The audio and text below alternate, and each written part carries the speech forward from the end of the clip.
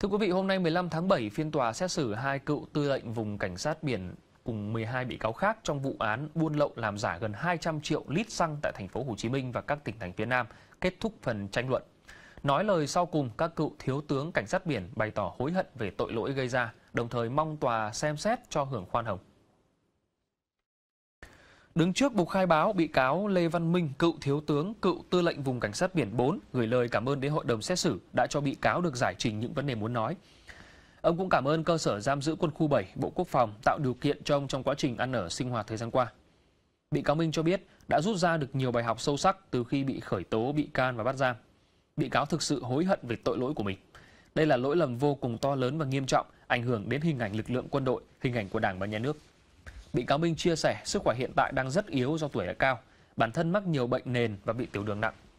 Đặc biệt thời gian gần đây, căn bệnh tiểu đường đang tái phát, do vậy bị cáo mong hội đồng xét xử xem xét tạo điều kiện để bị cáo có thời gian chữa bệnh. Bị cáo Lê Xuân Thanh, cựu thiếu tướng, cựu tư lệnh vùng cảnh sát biển vùng 3 cũng thừa nhận toàn bộ sai phạm của mình và mong hội đồng xét xử xem xét, giảm nhẹ, giúp bị cáo hưởng khoan hồng sớm trở về với gia đình để khắc phục những lỗi lầm do mình gây ra.